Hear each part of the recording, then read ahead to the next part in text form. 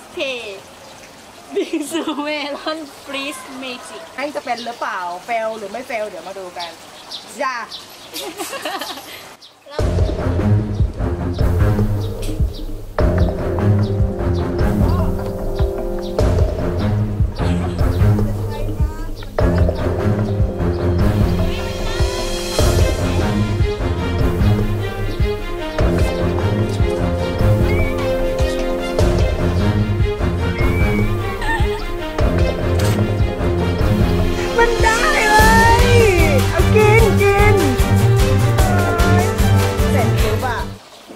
เราบิดก่อนใช่ปะ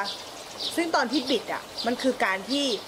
แก๊สข้างล่างที่ถูกอัดอะมันเริ่มดันขึ้นมาและใช่ปะแล้วไงต่อ แล้วเราก็กระแทกมันปึ้งใช่ปะพอกระแทกเสร็จปุ๊บมันเป็นการเพิ่มแรงอัดอีกไง มันเลยทำให้แบบปฏิกิริยาของแก๊สกับความเย็นอะมันจับตัวกันเว้ยแล้วมันก็ดันปุ้งขึ้นมา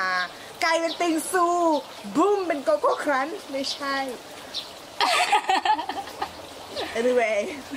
ก็จะเออนิดนิดนั่นแหละ มันก็เลยทำให้แบบมันเราแล้วพอเราเปิดอีกทีนึงอะมันก็เลยทะลักออกมากลายเป็นเหมือนแบบภูเขาน้ำแข็งๆที่จริงแล้วมันก็ต้องมีความแข็งข้างในอยู่แล้วอะมันก็เลยมันก็เลยดันออกมาแล้วมันก็จะเป็นใช่น้ำแข็งอีกถูกมันต้องมีความเย็นเป็นตัวช่วยอยู่แล้วไม่งั้นอะแค่ลำพังแค่แก๊สมันก็จะเหมือนการที่เรากินน้ำอัดลมทั่วๆไปที่แบบพอเขย่าแรงๆเปิดทีมันฟูออกมา แต่อันนี้มันฟู เลยจ้ะโอเค